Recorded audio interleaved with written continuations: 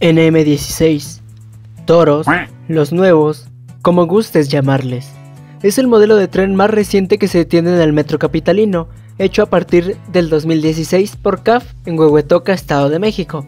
En total, forman 10 trenes de 9 carros cada uno con tracción VVVF, amplios sistemas de seguridad, buena ventilación, pilotaje 135 kHz.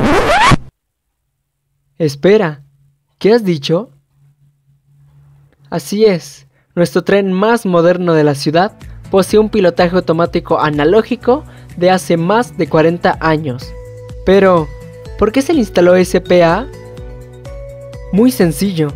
Recordemos que las líneas 1, 2, 3, 4, 5, 6, 7 y 9 poseen pilotaje 135 kHz, obsoleto en nuestros tiempos, y al realizar el pedido de trenes para línea 1, se debió de haber contemplado el cambio de pilotaje automático mínimo a SASEM, como en líneas 8, A y B, ya que es un sistema digitalizado y se acoplaría bien para un tren moderno.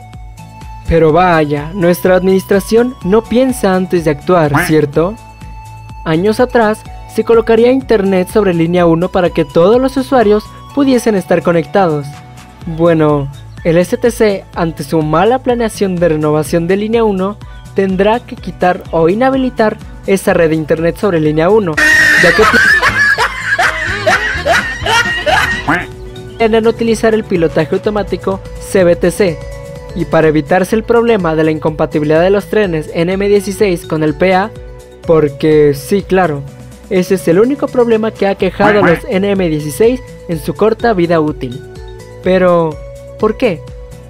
CBTC es un programa de pilotaje automático a base de comunicación vía Wi-Fi, como en línea 12, y hasta la fecha es la única que posee este programa de pilotaje automático. No sé si lo han notado, pero en esa línea la comunicación a Internet por medio de celulares no existe, ya que si existiese, interferiría con el funcionamiento del pilotaje automático y el avance de los trenes. Esa es la razón por la que quizá el STC deba de quitar el Internet en línea 1.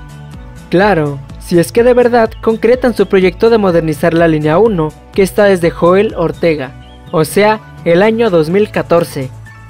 Por el momento, los usuarios deben de pagar las consecuencias por los retrasos a causa de quién? ¿De los trenes antiguos quizás? Da pena decirlo, pero no es por ellos.